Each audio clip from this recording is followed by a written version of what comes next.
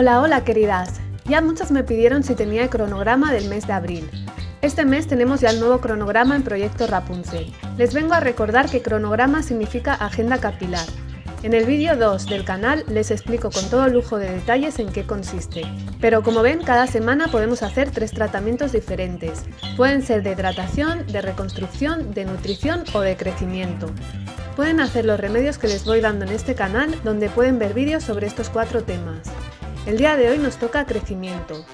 Les voy a decir lo que necesitaremos, pero no olviden suscribirse al canal Proyecto Rapunzel y activar la campanita de notificaciones. Lo primero que vamos a necesitar es té de hibisco. Yo ya lo tenía preparado y lo ven con aceite, pero es aceite de vitamina E. El segundo ingrediente es maicena, que ayuda a suavizar el cabello y ayuda a que no se nos abran las puntas, en consecuencia que nos siga creciendo el cabello.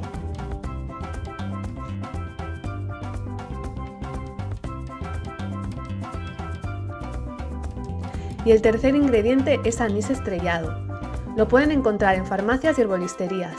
Promueve demasiado el crecimiento del cabello, pero si no lo tienen pueden sustituirlo por canela o por polvo de jengibre. Si ven el segundo vídeo de mi canal les di muchas ideas de ingredientes que pueden poner de sustituciones cuando no tengan algún ingrediente. Tendremos que revolver todo muy bien. Lo dejaremos en un recipiente con tapa y no lo usaremos hasta pasado 24 horas. Luego ya colaremos el anís y nos quedaremos con el tónico maravilloso. Yo en este caso hice poco para una sola vez. Modo de uso. Se aplica como prelavado con un envase que le sea fácil la aplicación, tipo ketchup. Se masajea el cuero cabelludo y se deja actuar por 45 minutos.